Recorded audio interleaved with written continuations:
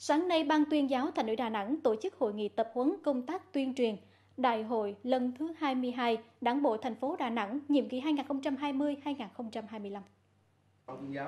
Hội nghị báo cáo các chuyên đề quan trọng phục vụ cho công tác tuyên truyền đại hội, gồm một số kết quả đại hội đảng bộ cấp trên cơ sở và công tác tham mưu xây dựng đề án nhân sự đại hội lần thứ 22 đảng bộ thành phố nhiệm kỳ 2020-2025, công tác chỉ đạo và chuẩn bị xây dựng nội dung các văn kiện đại hội. Theo đánh giá của Ban tổ chức Trung ương, Đảng bộ thành phố Đà Nẵng là một trong 6 đảng bộ trực thuộc Trung ương đã chỉ đạo hoàn thành 100% đại hội đảng bộ cấp trên cơ sở trong tháng 7 năm 2020.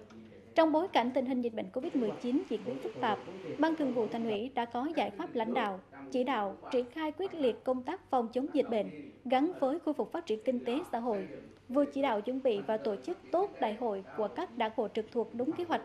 đồng thời thực hiện quy trình nhân sự tham gia Thành ủy khóa 22 đảm bảo nguyên tắc, tiêu chuẩn, điều kiện, thủ tục. Chào mừng Đại hội đại biểu lần thứ 22 Đảng bộ thành phố, Ban tuyên giáo Thành ủy tổ chức thực hiện ấn phẩm Đà Nẵng thành tựu và khát vọng nhằm điểm lại những thành tựu nổi bật của Đảng bộ thành phố trong 5 năm 2015-2020 và những khát vọng vươn ra biển lớn trong giai đoạn 5 năm tiếp theo 2020-2025 cũng như chặng đường dài phía trước.